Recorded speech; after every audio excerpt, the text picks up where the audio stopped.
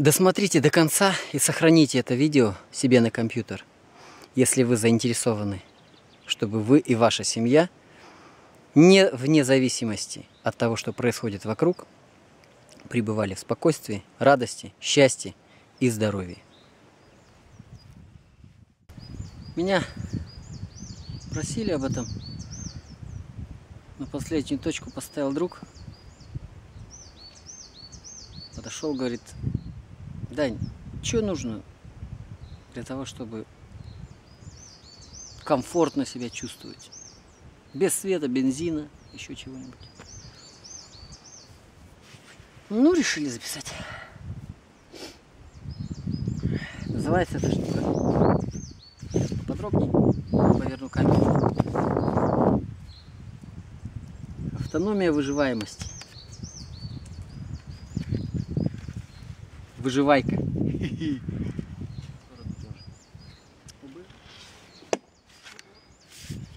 Ну ладно, сейчас все будет.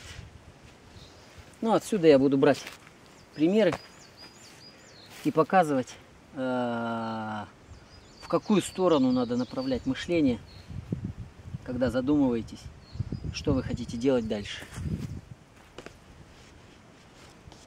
Выживайка автономия выживаемости.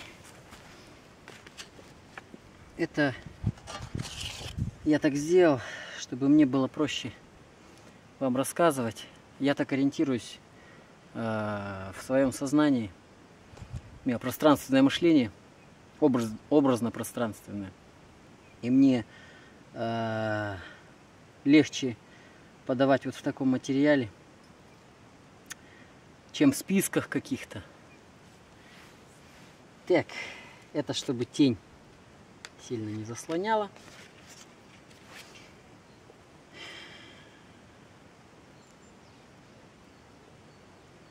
Если в одном из этих направлений вы уже имеете практики, опыт, вы уже бесценны для общества. Это потом Это потом. Это тоже.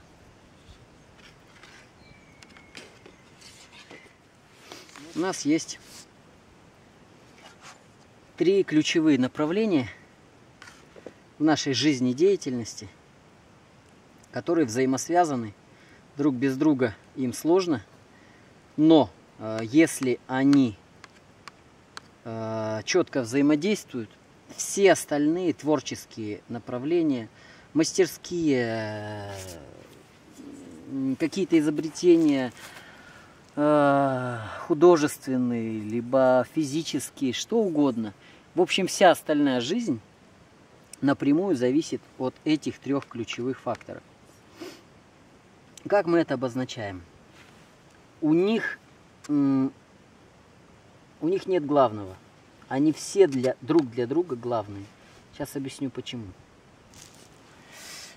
А, коневодство – это лошади и все, что с ними связано. Это тяговая сила, которая, э, которую не надо заправлять. К примеру, это независимость. Это полная автономность.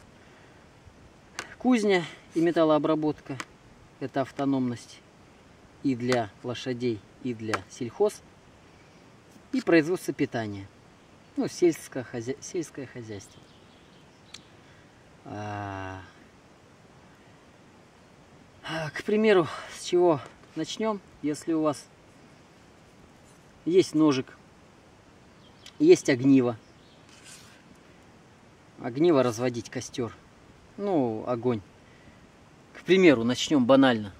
С, э, если у вас в кармане лежит палочка огнивки. Э, у вас в кармане лежит две с половиной тысячи коробки спичек, если перевести в расходник, в расход. Э, в плане, в плане затрат это минималь, минимальное вообще. Это, ну, на китайских сайтах, к примеру, там на Алиэкспрессе. Там за 60 рублей огнивые есть. Я брал за 120, такие вот большие. Эта сумма увеличивается втрое. И это лежит с собой постоянно, где бы ты ни находился, весит почти ни о чем. А, сверло, нож.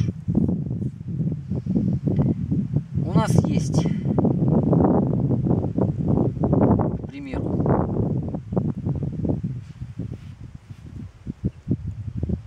ну, берем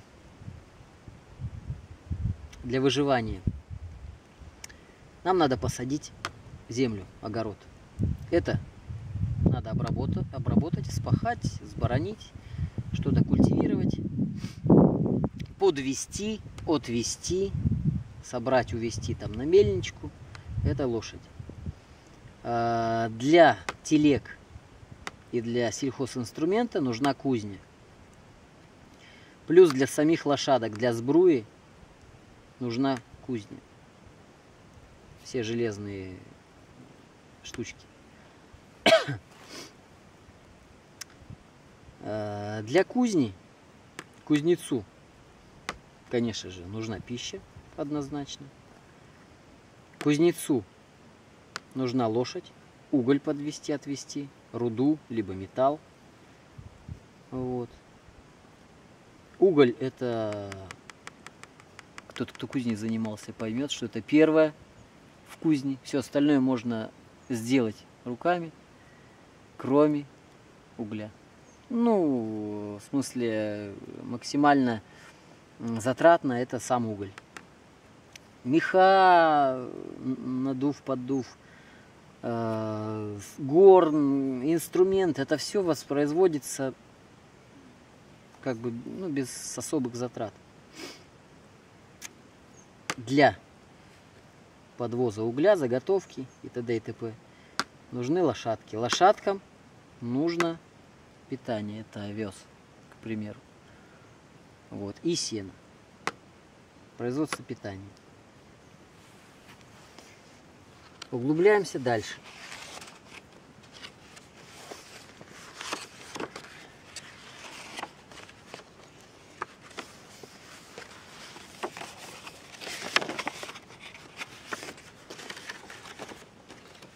Примеру, если у вас есть оружие, либо танк проходимый, выживаемости это отношения никакого не имеет. Вы становитесь, э, так скажем, на ту грань, когда у человека страх перед вами. А это, это не дружеские отношения. Дружеские это когда вы кузнец, это когда вы с лошадкой, это когда вы умеете находиться на земле и брать от нее. Вот тогда вы становитесь другом для тех, у кого нет навыка находиться ни там, ни сям, ни тут. Он научился стрелять, научился орать с трибуны, утрируем сразу. И все.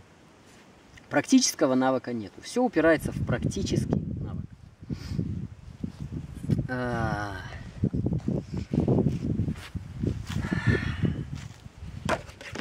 Для того, чтобы, к примеру, в кузне сделать ножик, даже кузни не надо.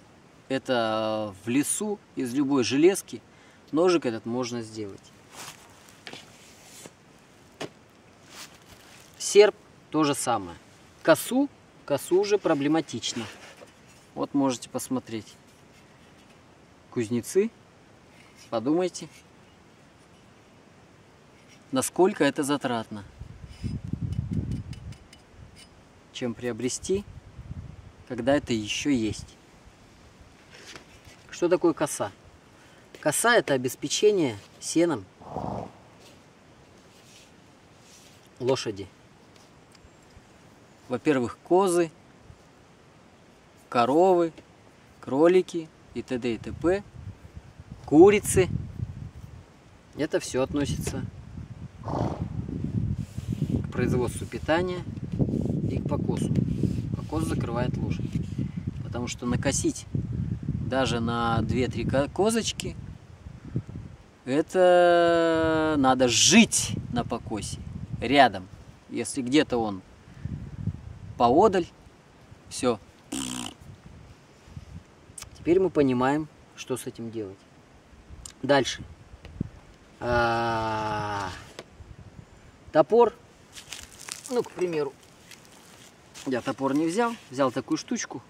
Это очень удобное для производства всяких ванночек, э, сливов для крыш, чтобы вода стекала, долбленок, это лодок, кто не знает название.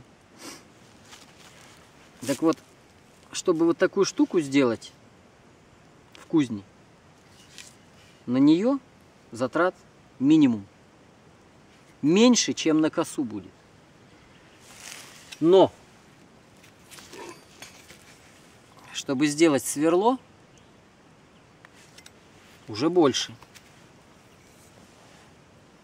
Чтобы сделать, к примеру, ту же ножовку в кузне, это уже фигли-мигли. Так что, к примеру, если у вас есть вот такие отработавшие пилы с ленточных пилорам, это у вас лучевка куда угодно и сколько угодно. Хоть пачку набрал их, две дырочки и все, у вас пила. Затачивать ее не проблема. Разводить тоже не проблема, если у вас есть полотно. Если у вас его нету, будете пользоваться топором. Идем дальше. А, к примеру, то, что касается а, лошадок, в основном лошадок, это веревки, но так как лошадками пользуются мало, мало кто знает, что потрелевав два денька лес, даже на дрова, не считая, что если его надо тролливать на стройку, от веревки, от синтетической, вот так вот ничего не остается. Это выкидывается, ну как выкидывается, добивается и используется уже по другому назначению. Цените вот такие вещи. Цепочки я только длинные не взял. Металлические цепи. Это прелесть. Старые, не старые, не обращайте внимания. А, с толстых цепей прелестная э, лебедка получается. Раньше, если забьете в YouTube, э, пеньки, пеньки вырывали лебедками. Э, По-моему, название у нее рычаговая лебедка.